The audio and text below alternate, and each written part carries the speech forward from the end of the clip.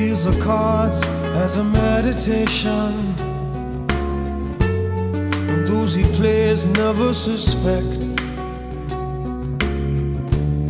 He doesn't play for the money he wins. He doesn't play for respect. He deals the cards to find the answer.